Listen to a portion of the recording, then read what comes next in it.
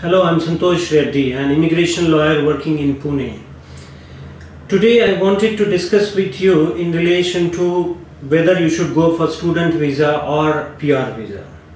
I had a client recently, he came to me with, with a query and his background was like this, like he had a qualification which was B computer science and he had work experience of around two to three years and he came to me he wanted some kind of advice from me in relation to student visa. So he he was pretty sure that he wanted to go for student visa for either Australia or, or Canada.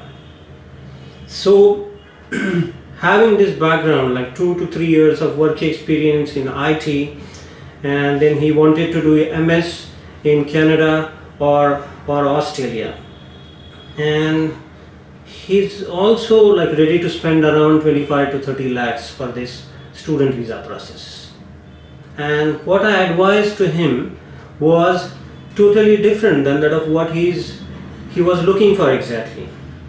What I advised to him was not to go for student visa and he should opt for permanent residency visa. That could be for Canada or, or Australia so why I advised him that he shouldn't go for student visa and he should go for PR visa. See, considering his qualification that is B computer science and work experience in IT, both these things and both these things having IT qualification which is pretty much in demand in both countries and having work experience in IT, again this particular skill set is in demand in both countries. If someone has IT qualification, IT work experience of around 2 to 3 years, then there is no need to spend around 25 to 30 lakhs rupees.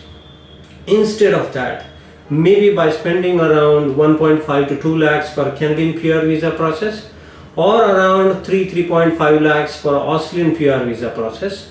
He would be in a position to get the permanent residency visa for that country. So the first factor or first reason because of which I would say that this particular client shouldn't go on student visa, he should opt for PR visa and the first reason is a cost factor. You are spending 25-30 lakhs in one case and in other case you are spending maybe around 2 to 3 lakhs rupees.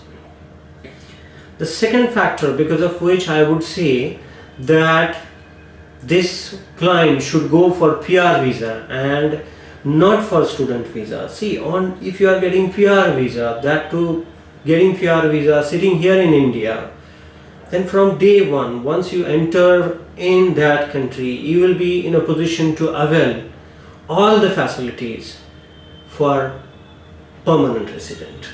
It could be like free healthcare facilities. It could be uh, again free education for children if he is married. Okay, it could be maybe concessional tuition fees if he wanted to go for further education. Right? So because of like these two major reasons I always advise people to go for PR visa having these circumstances having these qualifications and work experience.